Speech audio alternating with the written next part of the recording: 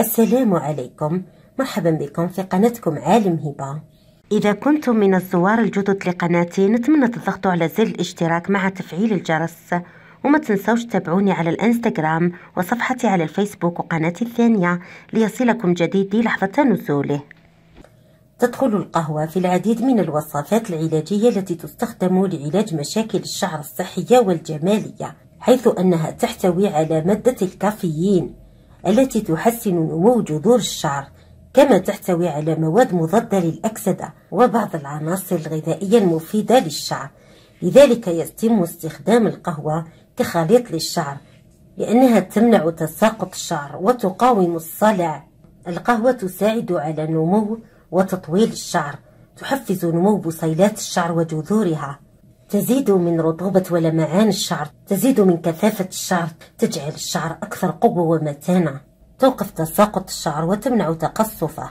اليوم احضرت لكم وصفات طبيعية بالقهوة لحل جميع مشاكل الشعر. تابعوني أخواتي خطوة خطوة. الوصفة الأولى نحتاج إلى نصف ملعقة من مسحوق القهوة وملعقة كبيرة من الشامبو. الشامبو الخاص بكم. كل واحدة تستعمل الشامبو الخاص بها.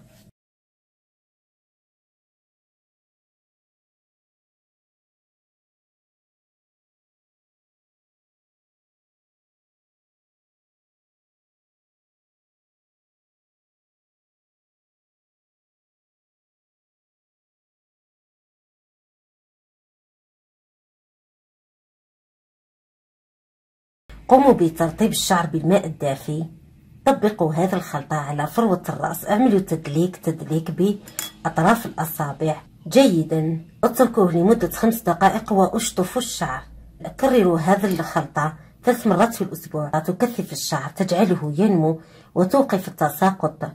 وتجعله لامع في أقل من ثلاث أسابيع. تظهر نتيجة رائعة لأن الكافيين الموجود في القهوة لما يمتزج مع الشامبو يعمل على تعزيز الدورة الدموية في فروة الرأس. ويجعل الشعر صحي وأقل عرضة للتكسر والتساقط. ننتقل الآن إلى الوصفة الثانية. نحتاج إلى شامبو الأطفال. أي نوع شامبو الأطفال عندكم؟ مثلا هذا أو شامبو جونسون للأطفال ملعقة من القهوة وهي البن. نضيف لها ملعقتين من شامبو الأطفال.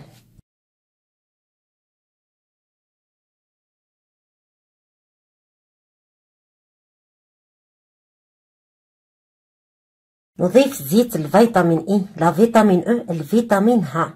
أو كبسولات الفيتامين إي لا فيتامين أو الفيتامين ها. هذه المتواجدة عندكم. أي نوع ماركة عندكم استعملوها.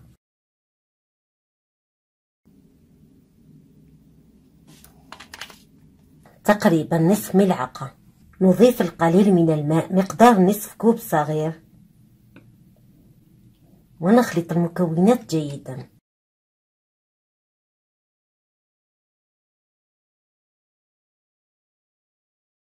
نتركها تتخمر لمدة ربع ساعة ونطبقها على الشعر يكون مبلول على فروة الرأس أعملوا تدليك تدليك واسحبوا الخصل كذلك أيضا. تركوها لمدة خمس دقائق فقط وأغسلوا الشعر جيدا اشطفوه جيدا. هذا الخلطة أيضا توقف التساقط تكثف الشعر تزيد في نموه وكثافته وتجعل الشعر صحي. ننتقل الآن إلى الوصفة الموالية الخاصة بالقهوة. كوب من الماء الدافي نضيف له القهوة. اتركوه يتخمر. بدرجة حرارة الغرفة. مدة نصف ساعة.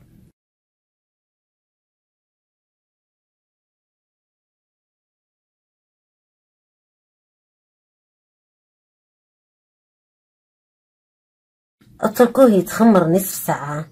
وبعد ذلك. قوموا بتصفيته. ثم ضعوه في قنينة بخاخ. هكذا أغسلوا الشعر جيدا بالشامبو وأشطفوا الشعر جيدا من الشامبو. ثم بعد الشطفة الأخيرة قوموا برش هذا البخاخ على الشعر كامل دلكوا فروة الرأس.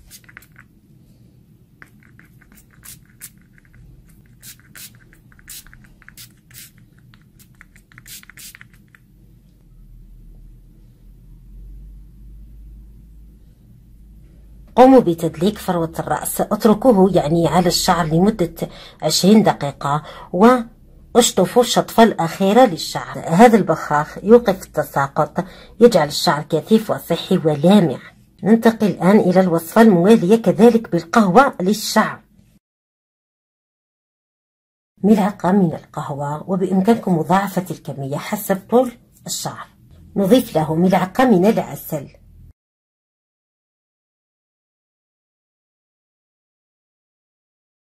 ونضيف ملعقة من زيت الزيتون البكر هو من العصرة الأولى. يكثف الشعر يوقف التساقط يعالج مشاكل الشعر.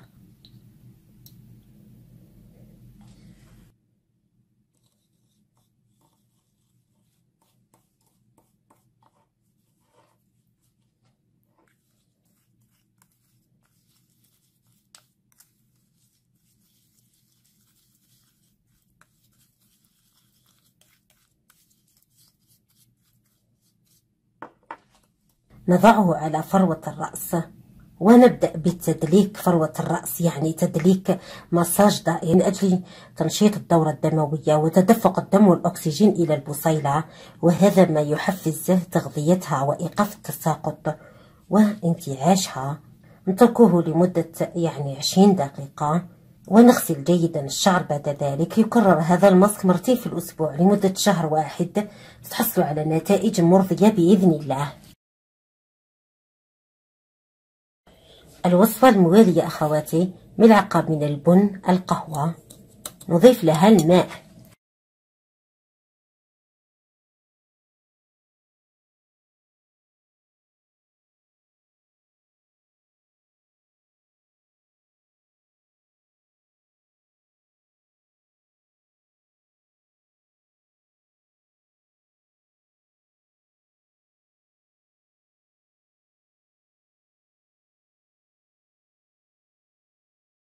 نتركه يتخمر لمدة ربع ساعة ونقوم بتصفيته. نتحصل على هذا المنقوع نحتاج إلى شامبو الأطفال المقدار الذي نحتاجه. نضيف ملعقة من القهوة وملعقة من العسل.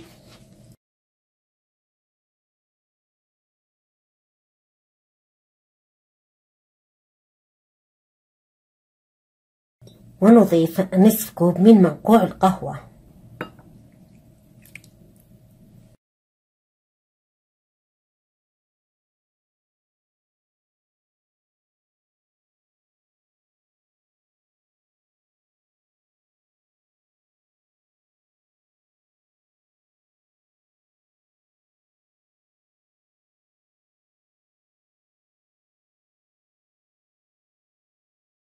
نترك المكونات تتجانس مع بعض مليح لمدة نصف ساعة. بللوا الشعر بالماء الدافي طبقوه على كل الشعر. عملوا تدليك تدليك لفروة الرأس بأطراف الأصابع. نسرح الخصل جيدا.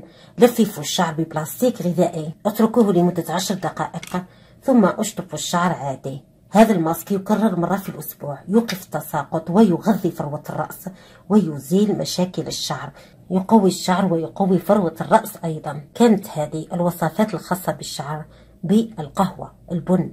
نتمنى كل واحدة تختار المناسب لها هي توقف التساقط وتكثف الشعر تزيل الهيشان من الشعر وترطب الشعر تغذيه تزيد في طوله تجعل الشعر صحي ولامع. لكن ضروري أنكم تتناولوا الأغذية الغنية بالحديد الزنك البوتاسيوم المغنيسيوم لتحفيز وتنشيط لتغذية بصيلة الرأس ووقف التساقط. اشربوا لترين من الماء يوميا. قصوا أطراف الشعر بطريقة صحيحة. اعملوا مساج لفروة الرأس تدليك ولو بدون زيوت كل ليلة. ممنوع مشط الشعر أثناء. وضع الشامبو فيه دايما مشط الشعر وهو ناشف وجاف.